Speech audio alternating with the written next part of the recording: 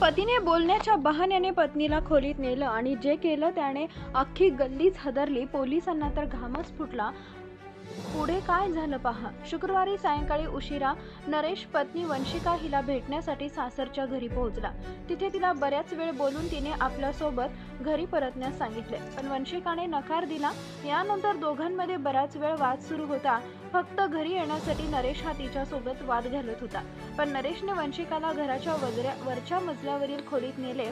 घरचेही काही म्हणाले नाही.